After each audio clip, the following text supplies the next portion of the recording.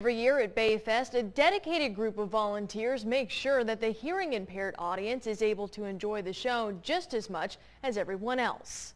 What if this is how you saw a live music concert? Lips are moving, fingers strumming, yet there's no sound.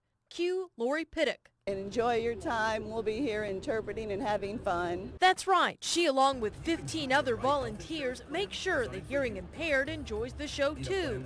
Just don't ask her to sign any rap songs. Lead singer or someone from Bones and Thugs says they're like the fastest rapper, and I'm like, okay, that's not me. I'll, I'll be down at the country stage. You'll find them on the side of the stage, signing the words to the songs. Pituk says it takes weeks of preparation, but to her it's well worth it. She knows it's much appreciated. It's always exciting, and they're always very thankful that someone's there to provide that kind of service for them.